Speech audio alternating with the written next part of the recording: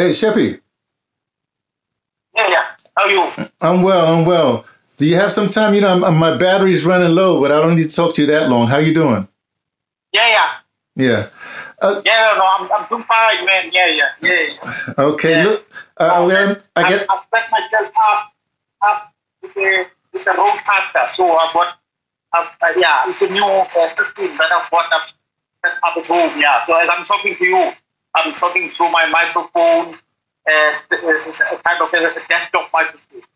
Oh, so uh, you're you're gonna be more technically advanced than anybody else in South Africa? What are you telling me? Well, uh, I, I think, uh, uh, I mean, probably there are some people that are pushing, are going this direction. Yeah, uh, we have we have this same setup at, at the school, at the School of Journalism.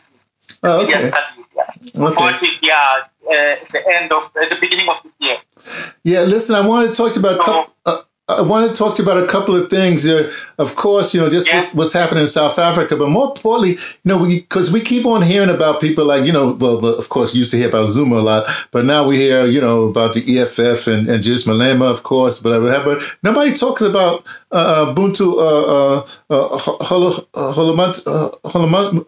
Holomisa. I don't understand. What, what, what, what, tell, tell us a little bit about the politics of South Africa. Let's put it that way. Uh, my my sense is that uh, the, basically the opposition is uh, slightly um, hot hot food, you know, like uh, or um, has been kind of caught off guard by a, a number of things. Yeah, uh, one of which is um, the, the, the kind of, you know, in the light of, uh, of an ANC that's not performing particularly well, especially when it regards when, with regards to corruption and the, the growing incidence of corruption mm. um, uh, within within the, the, the, the kind of the, the, the, governing ANC. The opposition has not been able to uh, rise up to the challenge. I think partly because they are also themselves are caught up in forms of corruption. I mean, of course, yeah. Uh, because they're not they're not that big parties, and also their proximity to power is not that close as the ANC. So yeah, they are, the extent of their own corruption has not been uh, particularly um, uh, uh substantive, or, or, even let me put it this way, has not exposed, yeah, yeah. Uh, to the extent that the ANC has, yeah. So I think we, we, we caught up in that. And then the second thing is that the, where the opposition has has been able to displace the ANC through, through um, a popular vote. It has not been able as single parties to take over, except perhaps the Western Cape with the DA. It has not been able to take over. So what it has done, it has gone into coalitions, which are the worst forms of, I mean, their performance so far has, has been disastrous to say the least. So they've not been able to govern effectively because you can imagine each party has got its own manifesto, its own policy, and then they are trying to reach a compromise. And usually, these are parties that have always, all the time, been uh, criticizing, only criticizing the ANC. That's the focus of been on that. Yeah, so Bantu, Bantu Holomisa and his party, the UDM, was in a coalition in the Eastern Cape with a, a, a, a number of parties, that initially also with the with the, the DA there. Mm. and that coalition crumbled, you know, it crumbled partly um, as a result of the, the, the, I mean, at least around issues uh, revolving around the mayor. Of, well, of, well, well, Shepi, well, well, well, Shepi, you, you, know, coalition to me sounds like competition. That's the problem. Coalition is competition, and competition is not helpful when you try to run one country. you know, yeah. and then then, yeah. then the other big thing is basically, oh, Africa corruption, or let's say the world governments corruption. Oh yeah, what else is new? you know, yeah. you can say corrupt, you can say corruption all you want, but everybody says corruption. So what? Yeah, yeah. Well, in, in, in our instance, I think it's, uh, it's, there's something unique about it, and, and, and this is the fact that uh, when when we got uh, um, democracy in 1994, just like you know um, most African countries, we went, we, we uh, took over, you know, took power with a relatively uh, small, minute uh, middle class within the ranks of the oppressed people.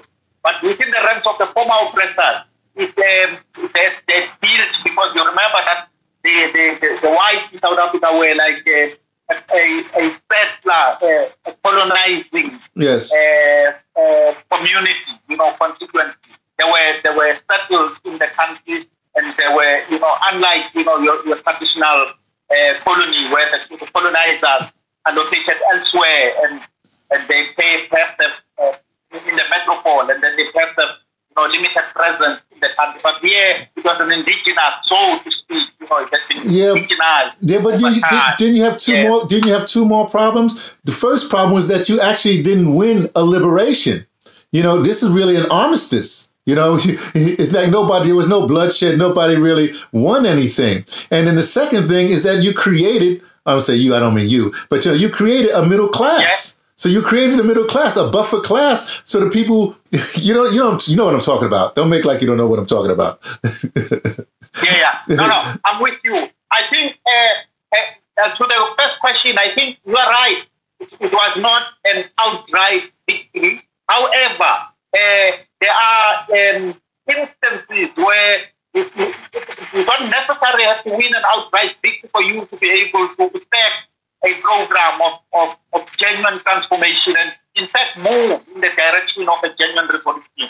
And so that entirely depends on on the political will on, on those who govern. The, our constraints were limited to five years. It was the, the, the sunset clause that within five years, you know, none of the civil servants will be touched and so on. And of course, I mean, it was a real serious constraint. I remember there, there's a story which uh, um, it, it does the round, uh, like, are you still there? yeah, I'm here. I'm here. I'm, I'm, I'm just listening to you. Go Okay. ahead, man. there, there is a story which does the round, like all stories, you know, uh, that, that sometimes, you know, in the form of the, or in the, in the rumor circle, it, uh, I've never, never verified it, but it was to the effect that um, a, when we're looking for a director general of police, who's like a police commissioner, who's in Yeah. charge of the, the, the, the actual operations of the police, the head of, of them, at the national level, we uh, there was a time when we recruited someone from New York who would come from the state, who was credited, who have sent things around in the state, and we came, did an, uh, an interview, and part of the interview was to visit a, a sample of the police stations in the country, and then when we finished, we came and presented to the minister then uh, by the name of Sydney Mufamadi, and he said,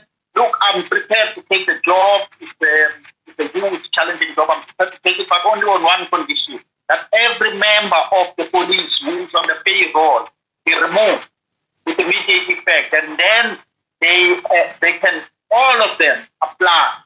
and we will then um, uh, filter through those applications and, and take only the, the Well- kind of people. Well, well, interest, interestingly enough, Shepi, interestingly enough, uh, that's what they're that's what we're trying to do. Not we're, but that's what's happening in the United States. They're saying a lot of these the police department, they have to, everybody has to resign. They have to go through a new process so they can weed out things or, or what, what things can change. But let me get off of this right now because I don't have much time. I think my Yeah. battery's going to run out. I want to get your take because things Yeah. that happen in Africa, especially Mali, and but but a bunch of other places. That's a francophone country. But but give me your take on what's happening in Africa, the deposing of leaders. You know, young people, younger people taking over, and these old people going. Uh, I think uh, somebody died. Some old person died. Some other country. I don't know what Nigeria is doing, but but what's what's going on? Well, uh, so far as the developments in Mali, I mean, for me, they're interesting. The countries that uh, I'm particularly, um, I follow, you know, uh, relatively uh, okay with uh, with regards to the, the, the so-called francophone uh, countries in, in the continent, the French-speaking countries, Mali uh, and, and Guinea-Conakry. Because both Mali and Guinea-Conakry, they were the only two countries, or at least amongst the two countries, I think that's about the only two, who um, refused to form part of that um, uh, pact for the continuation of colonization in Africa. That France uh, engage the rest of the former colonies in at the, at the onset of independence. Because as soon as they were independent, France wanted to uh, to read up the treaty now, uh, a new treaty, you know, which which basically engages, uh, uh, entices them into a continuation of colonization. I mean, it was yeah. it's incredible. Anyway, what happened is that those two countries refused. They said, no, going, alone. We don't want to be part of this. Well, independent. And, and they're very, very interesting countries. Um, of course, Mali is a, a long history, was a part of a, a, a, huge empire in that uh, part of the country, yeah. which goes way back before colonization. Yeah. yeah. It's what fascinating history, even history of of the yep, the, of higher learning. Yeah, go, go go go back to you. You said Mali. Did you say Guinea-Bissau? What what what country was you saying? No, Guinea, Guinea, Conakry, Conakry. That's where um, um, uh, uh, Kwame Ture, uh, Dr. Michael, uh, Kwame Ture spent uh, his uh, okay, oh, okay, okay, okay, again, yeah. Oh, again, yeah. yeah, yeah, yeah, yeah. yeah. Well, well, yeah, that can. Well, I'm lo- also looking at this strife in in, in, in, in, in Cameroon. As you know, Cameroon is basically, as far as speaking, half French, half English, or whatever it is. I mean, uh, there's all kinds of yeah. stuff happening after. I'm just trying to figure out is is is, is this is this upheaval? Is this a wave? Just like what's happening all over the world? Um, people are sick and tired of, of being sick and tired, as they say in the states. I'm hoping so. I'm hoping it's a new beginning, it's a new way in which people are, sick and tired, but they are doing something. They are kind of, uh, uh, they, it's, a testimony to the agency of, of ordinary people. However, we have a history in all of these uh, African countries of interference by the former colonizers uh, because the, the countries still uh, supply uh, a, a huge primary, you know, uh, resources to the to the their former colonies. So, uh, for instance, I mean, Mali itself, you know, produces cotton, and we don't know where it is processed and so on. So, it's, it's that, for the extent to which France can get involved in destabilizing, you know, this country. Uh, so, I, I am, I'm hoping that it's, it's an indication. It's still early days to say. I'm just kind of following things, hoping that it would be a development in the direction that uh, uh, Burkina for instance, took in 1984. Well, look, uh, look, look uh, uh, Shepi, uh, China not, notwithstanding, I'm also looking at the United States and their whole military things and all kinds of moves, even the soft colonialism where, yep. where you have Barack Obama starting this, this basketball league all over Africa. I'm just, are they contending with those kind of things? You understand? There's, there's layers to this, not just the, the formal, the, the former uh, uh, colonial powers is still there. There's other layers that's trying to come on top of that because it's nothing but resources and ports and, and oil or whatever have you. Yes, precisely, precisely.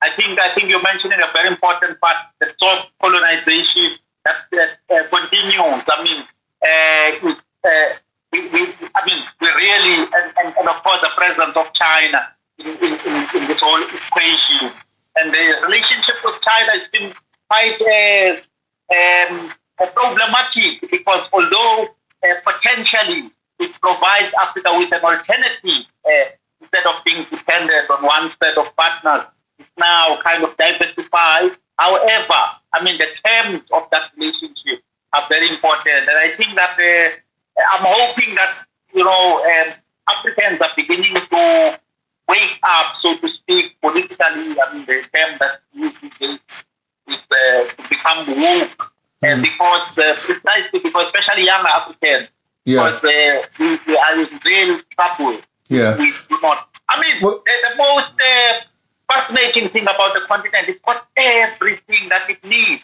If we could cut ourselves off from the rest of the world and trade among ourselves, yes. we would strengthen yes. our economy. Yes. We would uh, become a force to reckon with. Well, perhaps, you know, the China route uh, but now, I mean, uh, some people argue that, of course, it's impossible, you know, with the world that's uh, so interconnected. Yeah. yeah. Well, let, look, Shepi, let, let's let's stop. Let's end it here for now. But the next thing I want to talk about, maybe in a couple of weeks, maybe I don't know. We, we, I want to talk really about um, who who are people listening to now?